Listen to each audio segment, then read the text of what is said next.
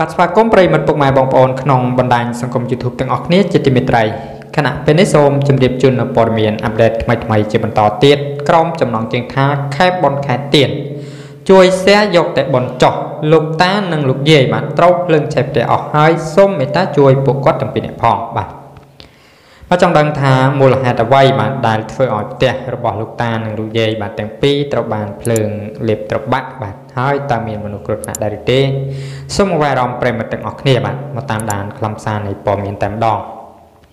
ផ្ទះមួយខ្នងរបស់លោកតានិងលោកយាយវ័យចំណាស់ពីរនាក់ត្រូវបានអគិភ័យឆាបឆេះទាំងស្រុងដោយសារតែមូលហេតុទុសេខ្សែភ្លើងគួរឲ្យអាណិតគាត់ជាខ្លាំងបាទចំពោះលោកតានិងលោកយាយវ័យចំណាស់មួយគូនេះបហេតុការណ៍នេះបានកើតឡើងនៅថ្ងៃទី14ខែកញ្ញាឆ្នាំ2019ករណីអគិភ័យឆាបឆេះ ពលផ្ទះពលរដ្ឋមួយខ្នងនេះបាទ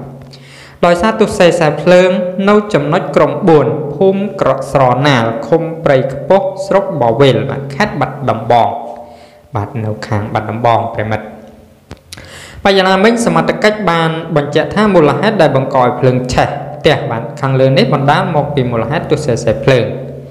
ប្រតិបត្តិការអន្តរាគមហេតុការភ្លើងឆេះផ្ទះនេះកម្លាំងអធិការដ្ឋាននគរបាលស្រុកសហការជាមួយរដ្ឋបាលព្រៃខ្ពស់និងប្រជាការពារភូមិ15នាក់ប្រើប្រាស់រថយន្តពលិតអគ្គិភ័យ2គ្រឿងបាញ់ទឹកអស់មួយឡានបាទដោយឡែកករណីមួយនេះម្ចាស់ផ្ទះឈ្មោះថាថឹកយ៉ៃភេទប្រុសអាយុ83ឆ្នាំ និងប្រពន្ធឈ្មោះថាឡាប់ម៉ៅអាយុ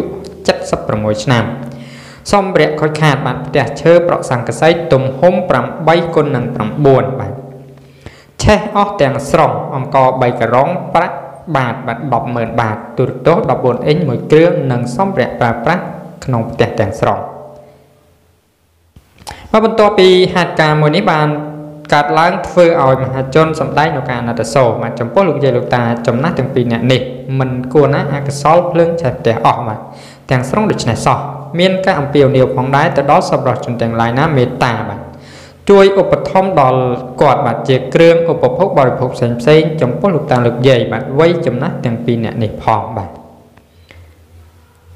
បាទចំពោះប្រិមិត្តពុកម៉ែបងប្អូនទាំងអស់គ្នាបាទប្រសិនបើអត់មាន បាទជាថវិកាឬក៏ជាបាទបាទកុំភ្លេចជាទឹកចិត្តជួយ like និង share ដើម្បីចែកចាយដំណឹងទៅដល់សប្បុរសជនដែល លោកមាន បាទបំណងចង់ជួយដល់លោកតាលោកយាយបាទដែលមានវ័យចំណាស់មែនតើប្រិមត្តពុកម៉ែបងប្អូនទាំងអស់គ្នាឃើញថាចិត្តបាទ8ជាងចិត្តជាងអស់ហើយបាទគាត់អត់រកអីអត់បានទេបាទឆេះតិចតែម្ដងបាទតាមរយៈសារព័ត៌មានគឺអត់មានមនុស្សគ្រោះថ្នាក់ទេប្រិមត្តបាទគឺបាទខូចតែទ្រព្យសម្បត្តិនិងបាទលុយកាក់មួយចំនួនតែប៉ុណ្ណោះបាទដូចបានរៀបរាប់ខាងលើបាទ សម្រាប់ព័ត៌មាននេះដែរក៏សូមបញ្ចប់ត្រឹមតែប៉ុណ្ណេះអរគុណសូមជម្រាបលា